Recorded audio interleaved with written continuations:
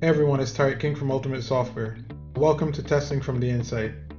Are you trying to take your testing skills to the next level? Or really work in an agile team where y'all are trying to shift left? Or just trying to get your organization to reap the full benefits of testing earlier? In this course, we're going to explain the fundamentals of unit testing so that you can start to find bugs as soon as they happen.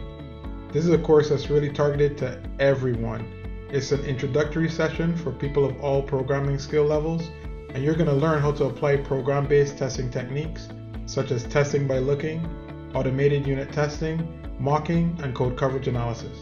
We're going to go through concepts and constructs in programming languages as we look at a set of practical code based testing exercises. So we're going to put hands to keyboard.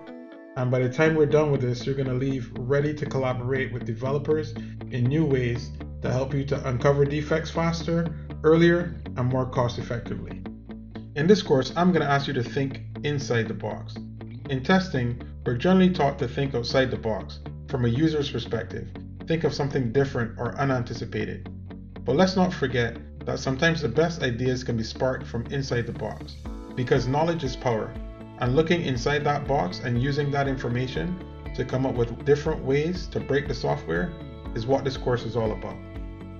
In terms of the course goals, we're going to define key terms, concepts, and principles, and guidelines around testing from the inside.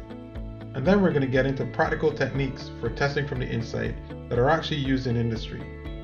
We then want to apply those in the context of programming puzzles and problems. And then we're going to get our hands on some tools so that we can actually practice doing automated unit testing and real testing from the inside.